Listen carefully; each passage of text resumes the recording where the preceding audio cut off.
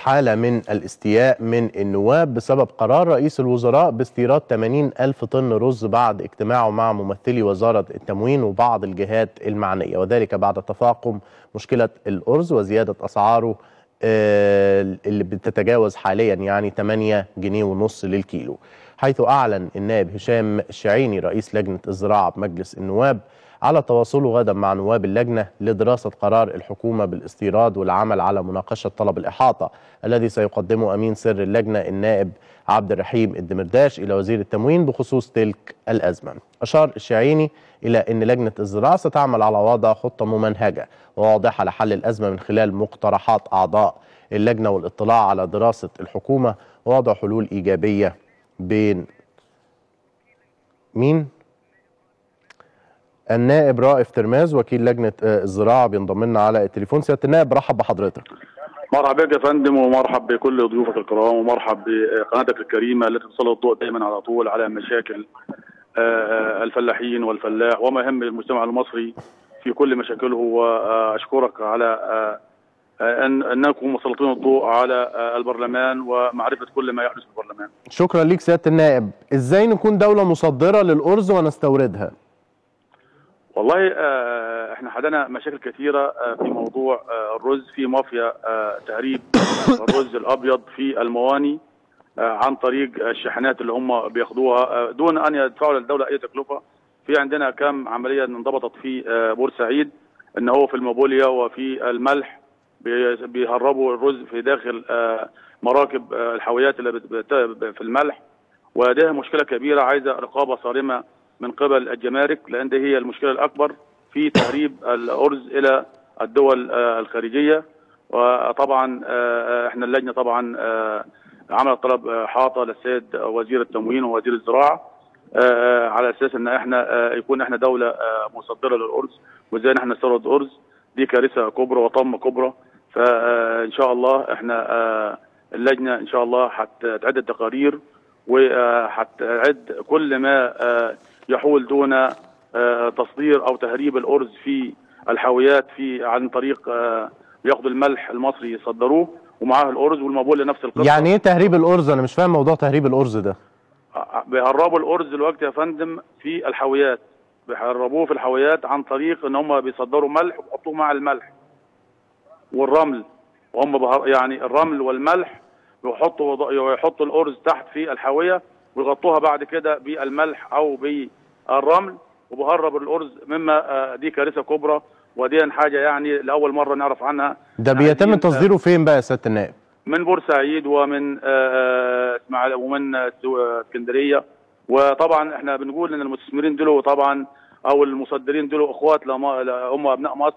ما يكونش إحنا في وقت النهارده وقت أزمات ويفتحوا له ازمات وإحنا طبعا ده يعني عيب على مصدر إن هو يعمل هذا العمل ال- الشنيع و طب هو بيستهدف بيستهدف إيه؟ يعني إذا كان بيست- بيستهدف هز الدولة المصرية في استقرارها بيستهدف آه، آه، حاجات كتيرة خالص. فده طبعا آه، إحنا بالمرصاد وكشفنا للعيب دي إحنا لجنة الزراعة ومتابعين مع وزارة المالية ومع الجمارك هذا الموضوع. الموضوع ده تم فيه ضبطيات ضبطيات أكثر من ضبط من ضبطية. يعني دلوقتي حضرتك عايز تقول لي إن عمليات التهريب اللي بتتم للأرز. هي اللي أدت آه إن إحنا بقينا محتاجين في مصر آه رز وبنستورد دلوقتي 80 ألف طن وفي نفس الوقت أدت لزيادة أسعار آه الرز. ده طبعا ده مع القرار ال- الخاطئ اللي عمله وزير الزراعة ووزير التموين بالتصدير في حال إن هو كان المفروض يقعد مع المجموعة الاقتصادية ويدرس الحالة اللي البلد فيها إيه وأنا عندي إيه ولازمني إيه. فهو طبعا دي آه، اتنين م- متوازيين مع بعض. طب وإذا هم كان. هناك في قرار بالتصدير أيا كان بقى هذا القرار صائب أو غير صائب ليه يتم التهريب؟ التهريب ده بقى ناس بقى آه، آه، بتهرب ديا على أساس إن هي ما تدفعش الضرائب اللي عليها على أساس إن هي ما لهاش أصلا آه، آه، قرار أو واخدة قرار بإن هي بتصدر هي بتصدر مع نفسها هي عاملة قانون لوحدهم وبيصدروا مع نفسهم.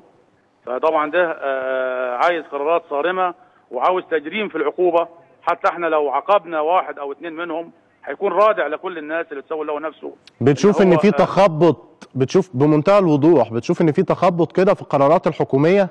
طبعا في تخبط طبعا. هتعملوا إيه بقى سيادة النائب وإمتى؟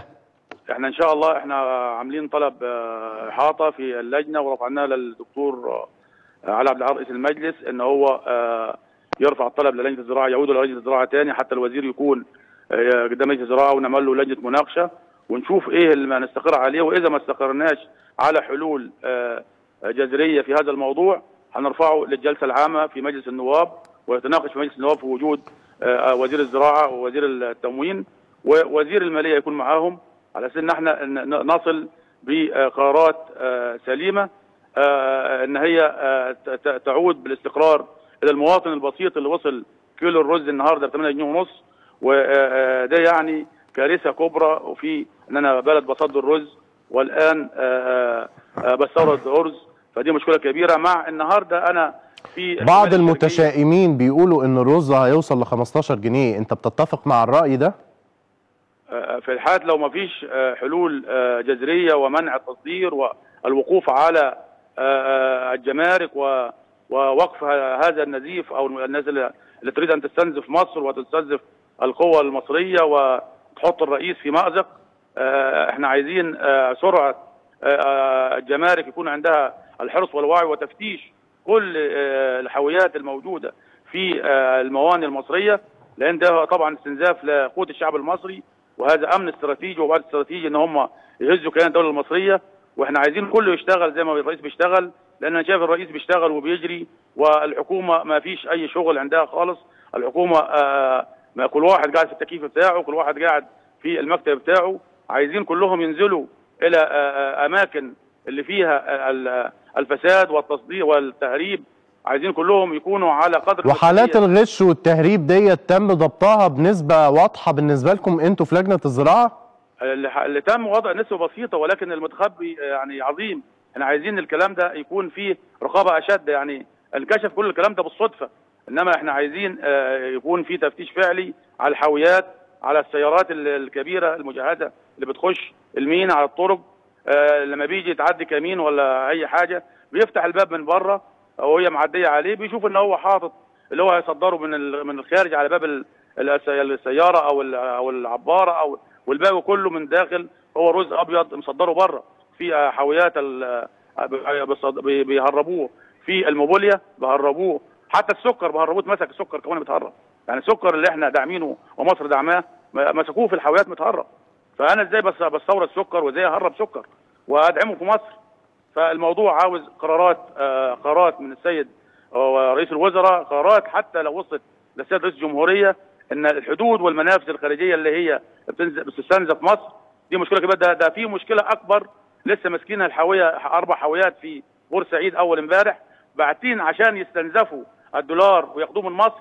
باعتين لنا آه، آه، زبالة واحد مستورد أقمشة من آه، قطر ومن دبي. وهذه من دبي قصدي.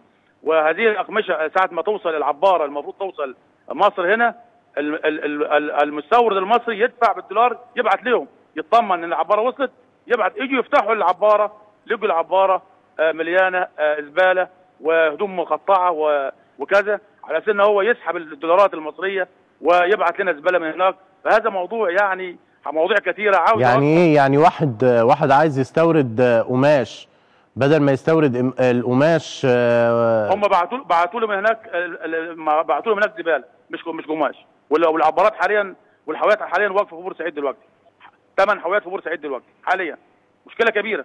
يعني هو بعت له على أساس إن هو يبعت له الفلوس. بعت له الدولارات من مصر. بعت له حول وبعت له الدولارات.